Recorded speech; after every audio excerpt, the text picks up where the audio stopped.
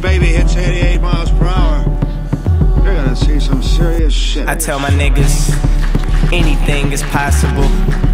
Impossible is nothing. I mean, look at the dough we getting. I mean, look at these hoes we fucking. I know this shit can get better. Working hard, trying to pull myself together. And tell the world that I'm ready for whatever. Finna hit the jackpot, I got my hand on the lever. Going down, gotta let that bitch boom. New condo, one floor, six rooms. Feeling good, but that shit got a sick view. A nigga on track, I should probably get a kid crew. You don't think I'm on low? Skip you.